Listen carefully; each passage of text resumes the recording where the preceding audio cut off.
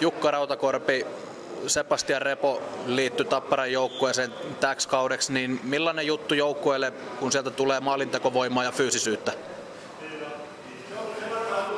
No tietysti ehkä ensimmäinen lähtökohta se puoli on, on ihan niin kuin, tavallaan meidän pelaaja ollut koko ajan niin kuin, henkisesti tietyllä tavalla. Totta kai hän harjoitteli joukkueen mukana jo tuossa kesällä ja tietysti viime kaudella tuli Tapparaan mukaan. Että, ja hän lähti sen jälkeen, sai mahdollisuuden tapella tapella NHLista paikkaa ylhäällä ja nyt sitten se toteutunut, niin hän automaattisesti palautui meille niin kuin sääntöjen mukaan, miten se meni. Tämä oli ihan tiedossa oleva asia ja, ja totta kai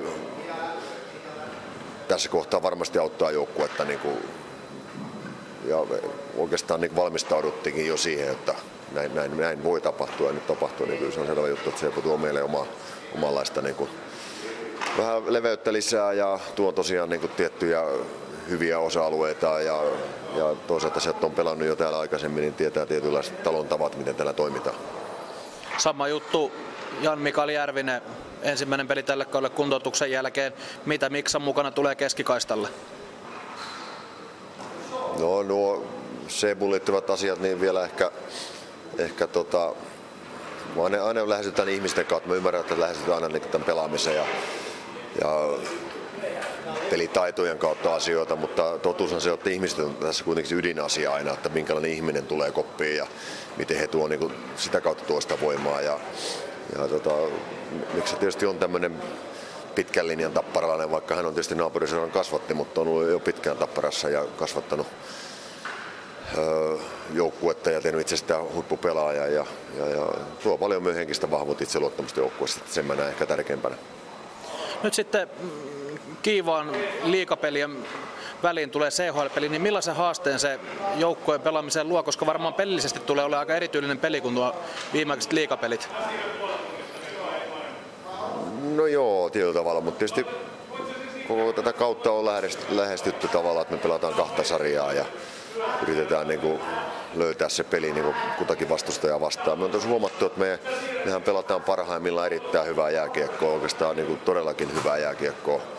Sitten me pelataan niin kuin huonoimmilla erittäin huonoa jääkiekkoa ja tämä ailehtelevaisuus on meillä ollut se oma haasteemme ja tietynlainen henkinen tila ja valmiustila pelata illasta toiseen, niin että se jänne kestää. Se jopa pelin sisällä jänteen kestäminen on vielä ailahdellut, mutta sitä tässä nyt taas kerran haetaan tietysti myös CHL-peli, jotta ymmärretään se, että tulee sinne toiselle puolelle kuka tahansa, niin tämä joukkueen oma arvo on niin iso, että meidän pitää pystyä niin kuin sitä omaa peliä jauhamaan. Ja tänään tietysti tulee myös kokoonpanon muutokset, että luodaan nimenomaan tätä henkistä haastetta joukkueen sisälle sopeutua tänne illanotteluun. Meillä on pelaajia, jotka ei vielä tänä vuonna pelannut liikapelejä, eikä edes CHL-pelejä. Ja, ja se ei tarkoita sitä, että me joukkueesta enää missään nimessä huonompi päinvastoin. Just tästä henkisestä tilasta yritetään niin vahvistaa sitä tätä kautta.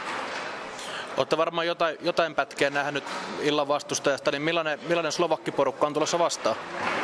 No ihan oman pelin kautta lähestytään, niin kuin tietysti on, pitäisi lähestyä kaikkia pelejä, että, mutta yksinkertaisuudessaan Slovakki joukkue puolustaa eteenpäin ja hyökkää eteenpäin, että se on heidän tapa pelata, he paljon sisään eikä, eikä rauhoittele painetta ja pelaa pelejä peliä eteenpäin.